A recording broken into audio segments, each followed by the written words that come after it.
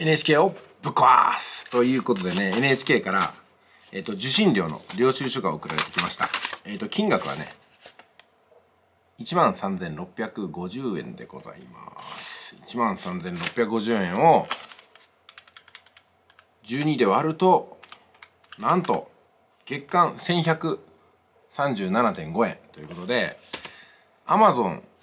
のプライムじゃないわ。YouTube か。YouTube のプレミアムが確かね1180円。1200円弱だったと思いますからだからそれと同等の価値が NHK にあるかどうかってことなんですよね。まあ私はですね NHK の教育を大和くんと一緒に見てますんで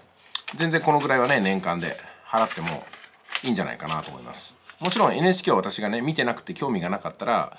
まあ契約はしないんですけどもね払わないぞということなんですけども私はねあの見させてもらってますんでね。まあありがたく年間1万3650円は別に全然抵抗なく払っていこうかなと思います。でもねやっぱり NHK が必要ない方、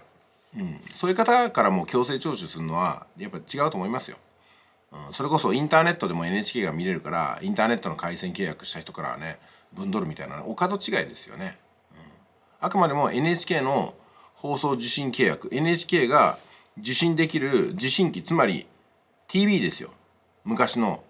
ブラウン管のアナログ型 TV デジタル型 TV に変わってそれからも徴収するのもお門違いだと思うぐらいなのにまさにインターネットっていうね全然別のところから取ろうとするのは単なるねあのヤクザのぼったくりと変わんないですね。だから NHK は反社会勢力的な面も持ってると思います、まあ、私はサービスを受け取ってますんでお金を払い続けますけどもでもね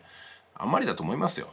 うん、それこそ NHK に価値があると思ってる人から受信料を2,000円でも3,000円でも値上げして取ればいいんじゃないですかね。うん、それこそ分担金なわけですから。で NHK を一切見てない人からは全く取らないようなサブ何ですかねスクランブル放送ですか。こういうふうにすればいいと思うんですよ。まあなんかね裁判でも、うん、国会でもなんだか妙な理屈つけてね NHK の意向をご了承しようかというふうな流れになってますけどももうそういう時代じゃないですからね。まあバカなことはやめていただきたいかなと思うのが私の見解です。見てる人から撮って見てない人から撮らない。当たり前のことですからね。それじゃあ。